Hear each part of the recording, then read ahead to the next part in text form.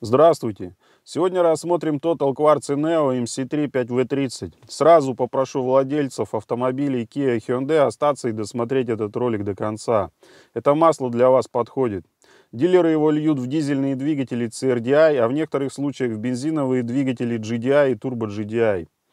Среди нашего брата принято критиковать действия официальных дилеров в России. Мол, они безголовые, льют что попало. Но в данном случае они все правильно делают. Если изучить подробно анализ этого масла, понимаешь почему. Помимо применимости в Kia Hyundai, это масло имеет последний допуск Mercedes-Benz 29.52 и лицензию Dexas 2. Все это реально есть в официальных листах, не поленился, проверил. А еще масло интересно тем, что производится оно у нас в России, в Калужской области, на заводе Total Восток. Вот давайте и проверим, точно ли они смешивают масла. Образец закупал и отправлял в лабу один из форумчан, PL84 за что ему от нас большое спасибо.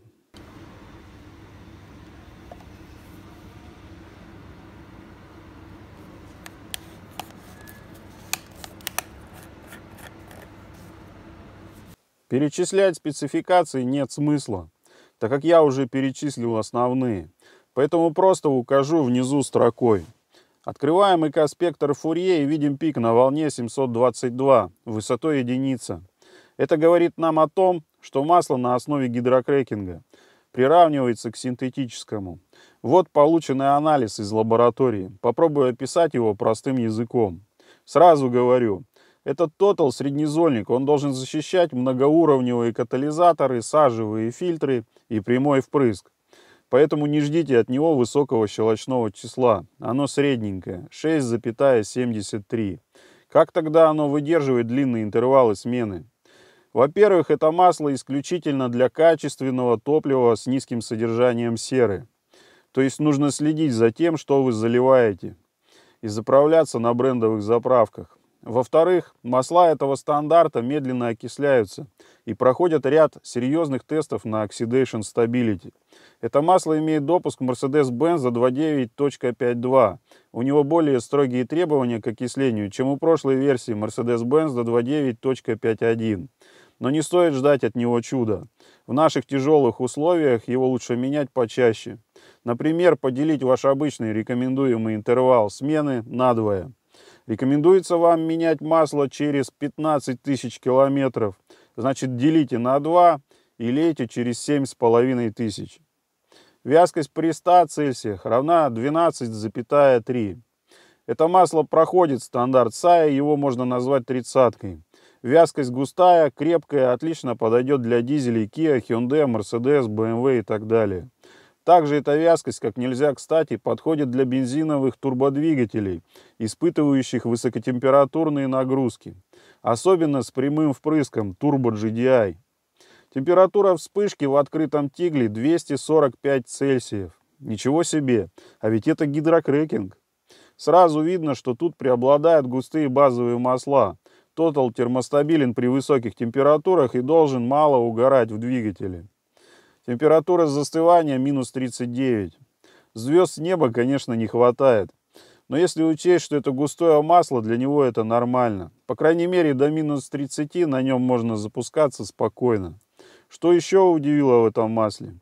Оно очень чистое. Смотрите, какое содержание серы.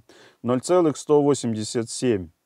Это не только хорошо очищенные базовые масла, но и современный пакет присадок, где постарались максимально снизить пагубное влияние серы на окисление масла. Это масло чистое и на золу сульфатную, всего 0,73%. Оно безопасно для прямо впрысковых моторов, сажевых фильтров и современных катализаторов. Пакет присадок у Total не как у всех, он на кальций плюс магний. Это масло защищает от преждевременного воспламенения смеси в цилиндрах, эффекта LSPI. Как раз идеально для турбодвигателей с прямым впрыском. Здесь содержится много бора, это беззольный дисперсант, удерживающий частички загрязнения во взвесе. Фосфор и цинк – это противоизносная присадка. Вывод такой. Высокотехнологичное масло, термостабильное при высоких температурах, мало угорает, крепкое по вязкости, защищает от износа при высокотемпературных нагрузках. На заметку тем, кто параноидально боится задиров в цилиндрах. Низкотемпературные характеристики средненькие. Очень чистое масло на нежелательные ингредиенты, серу и золу. Если кто-то боится российского производства, могу успокоить. Завод Total в России смешал масло нормально. Это видно по анализу. Ввиду перечисленных достоинств, этот Total идеально подходит для дизельных двигателей Common Rail Direct Injection с сажевыми фильтрами и без. А также для бензиновых двигателей с прямым впрыском. Цена этого масла 1800 рублей за 4 литра. Я считаю нормальная. Производитель Kia Hyundai в мануалах на бензиновые двигатели Turbo GDI рекомендует масла стандарта ASEA A5 5V30. У них зала в лучшем случае 1,15%. Вдобавок их пакеты присадок полностью на кальции. Total же чище в плане золы, чуть погуще, что для турбо только лучше в плане запаса при высокотемпературных нагрузках. Да еще и анти-LSPI пакет на кальций плюс магний, предотвращающий детонацию. Для турбо GDI это то, что доктор прописал. То есть это масло даже лучше, чем рекомендуемое производителем ASEA A5. Ну, на мой взгляд.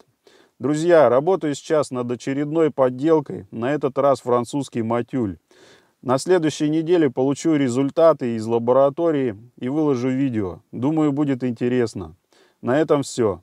Пока.